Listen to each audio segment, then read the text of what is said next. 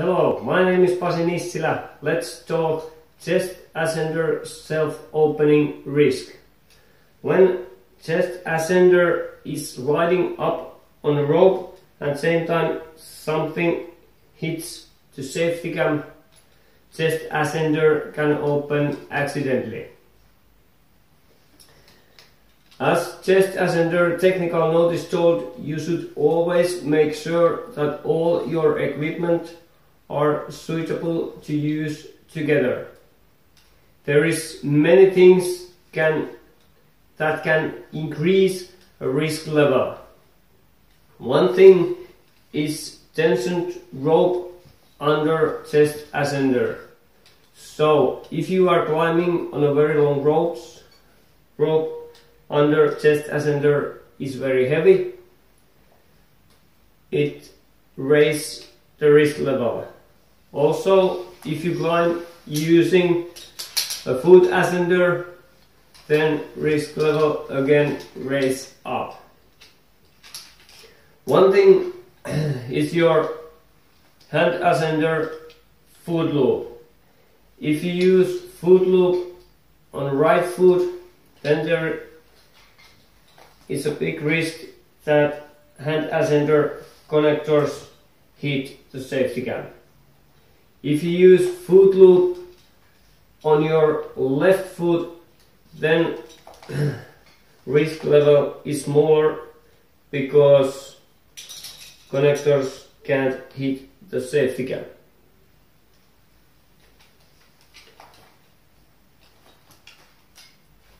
One thing is the length of the foot loop.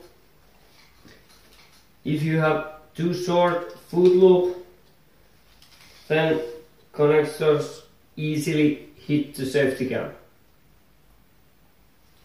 When you adjust your foot loop length, it's good to notice that when you are standing on a ground and you think your foot loop is a good length. When you go hanging the harness, you adjust your chest harness and now you stand up again, connectors hit the safety cam. Remember always adjust the length of the foot loop when you are hanging on a harness. Remember also when you are making a technical climbing, you maybe disconnect your foot loop from your, from your hand ascender and adjust foot loop shorter. After technical climbing, when you start again climbing with the chest ascender, Remember adjust foot loop again to safety length.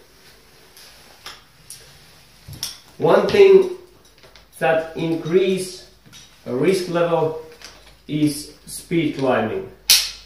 When you try climb very fast, things don't work same way when we are climbing normal speed. When we start pushing hard, then things maybe goes different way. I will demonstrate some scenarios where safety can open quite easily. I hope these demonstrations will help you to reduce your organization risk level of chest ascender self-opening.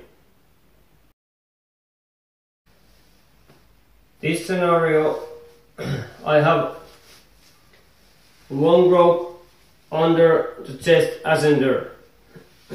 Used rope is 10.5 millimeter thick, so if I have this rope 90 meters under the chest ascender, the weight of the rope will be about 6 kilograms.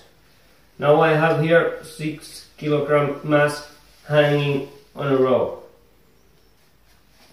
I have foot loop on my right foot. I have a quite big connector on a foot loop and my foot loop is too short. I have made a mistake with that.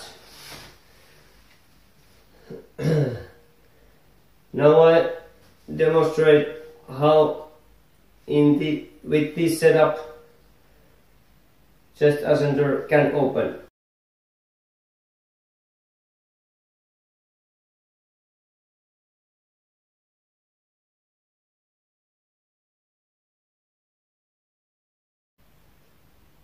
Next we will check the scenario where we are climbing with foot ascender on the left foot.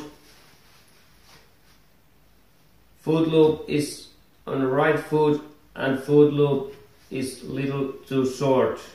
So I have made a mistake with that. I will climb like a frog style. I will lift both foot up same time.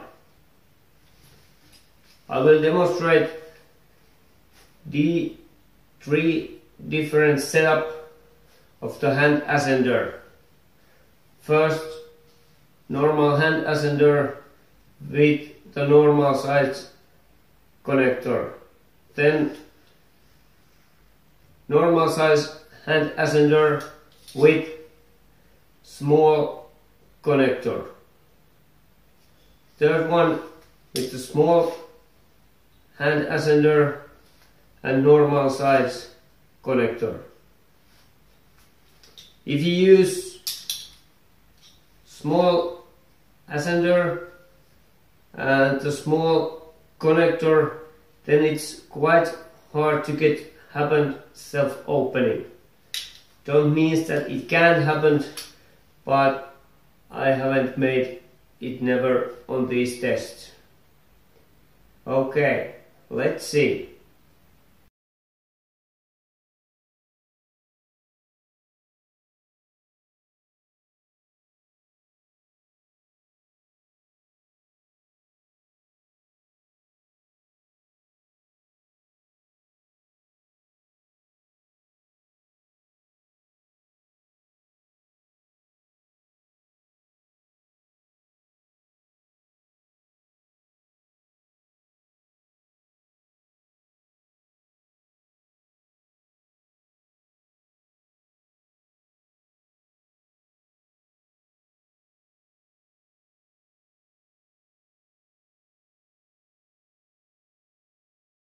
Now we have seen some examples how chest ascender can open accidentally. My conclusion is that a good solution of reducing the risk of self-opening is to use long foot loop with small connector on your left foot. So foot ascender on your right foot. It's good to also use small hand ascender and of course it's good to use well-trained climbing technique. Remember always make proper risk assessment before you start working. Be safe out there. See you.